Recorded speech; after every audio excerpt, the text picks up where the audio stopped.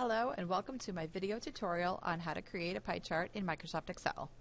As you know, you must create a visual representation to accompany your data analysis of your daily routine. And should you choose to use a pie chart, this tutorial will show you how. So as you can see here, I'm at the point in my project where I've stated my hypothesis and I have listed sequentially all of the activities that I do during my day. Here I've indicated the number of minutes I spend in each activity.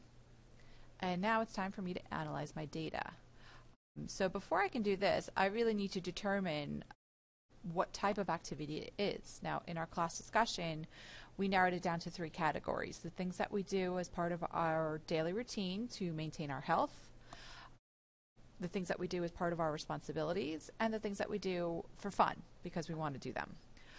Um, so you can highlight the activity to determine what type of activity it is.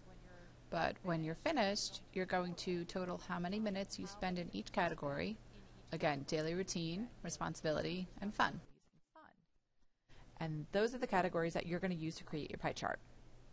So to create the pie chart, you're going to open up Microsoft Excel. And once you have your totals for each category, you're going to write them in. So here I have for my daily routine, I have a total of 690 minutes.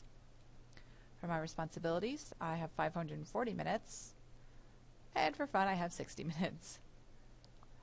Once you have created your little mini table here, you're going to click and highlight the whole thing. So that's two columns and three rows.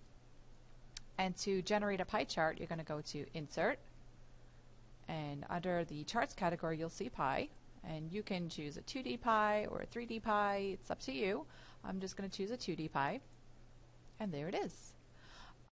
In order to indicate the percentage of time for each category, when you're in your chart tools up here, you can click on Layout. There's a tab here, Data Labels. If you click on it and go to More Data Label Options, you can click on Percentage and hit close. Now it'll show you what percentage of time you spend in each type of activity. If you want to, you can change the color of your pie chart. Again, by clicking on each individual slice, make sure you don't have the whole thing highlighted or else it'll change the whole thing to just one solid color. So you want to make sure that you're clicking on just one single piece of it. And you can change the color just by going into the shape fill tool here and change it to whatever you'd like. There we go.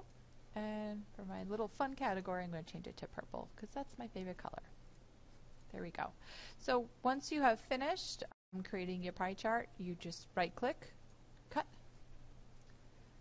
and then paste it into your project. And there you go. Thanks for listening. Adios y buena suerte.